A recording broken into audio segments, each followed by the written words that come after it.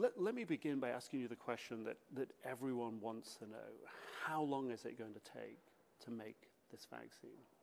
At this initial stage, it's very hard to predict the timelines. But what we can say, which is important, a typical vaccine takes about 10 years or more to develop.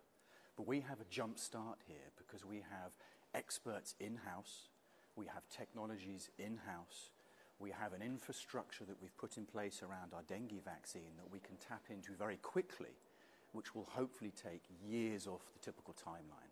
And we do have a sense of urgency, and that's because of the uh, emergency declared by the WHO.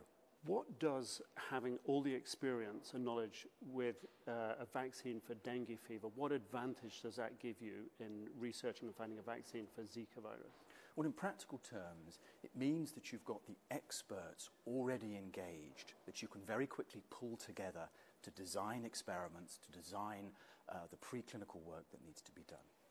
Then we've got an enormous established surveillance in countries where Zika is already uh, clearly an issue. So we can go to those clinical studies, we can adapt them, and with permission begin to look carefully at what's happening with the Zika virus. And lastly, we have a manufacturing capability and infrastructure that we can adapt to produce the vaccine far quicker than normal.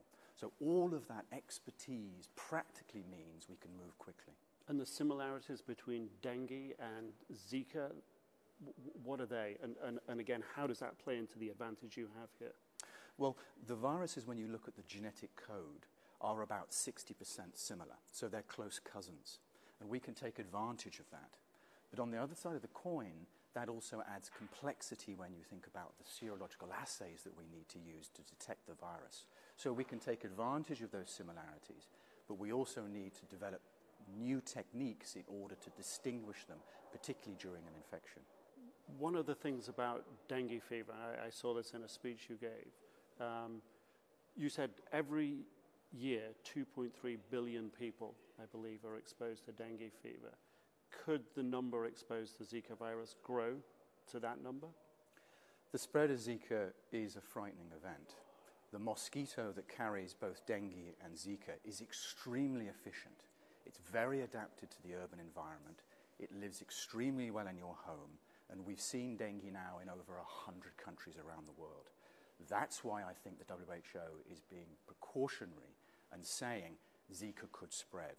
As a scientist, I think it's quite prudent to predict that Zika will continue to spread around the world, 30 countries today, and that number could increase significantly. When the World Health Organization declares an emergency like this, how does that help you deliver a vaccine quicker? It's very important because it allows us to galvanize resources. It allows us to make the case, the clinical case and the medical case, to move forward.